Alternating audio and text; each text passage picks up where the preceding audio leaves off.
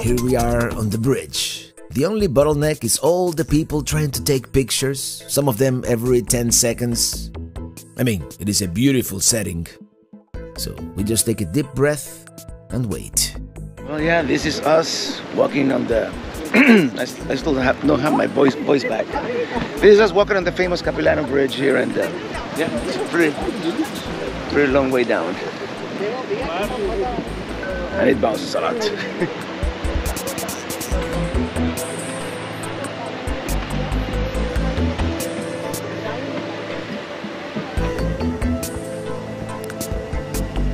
On the other side, they're selling something called otter balls.